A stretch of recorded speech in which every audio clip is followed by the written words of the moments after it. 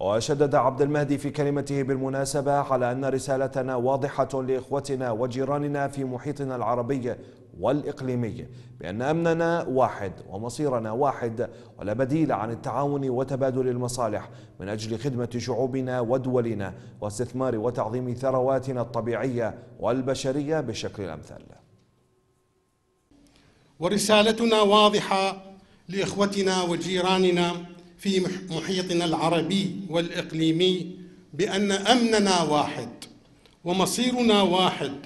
ولا بديل عن التعاون وتبادل المصالح من أجل خدمة شعوبنا ودولنا واستثمار وتعظيم ثرواتها الطبيعية والبشرية بالشكل الأمثل.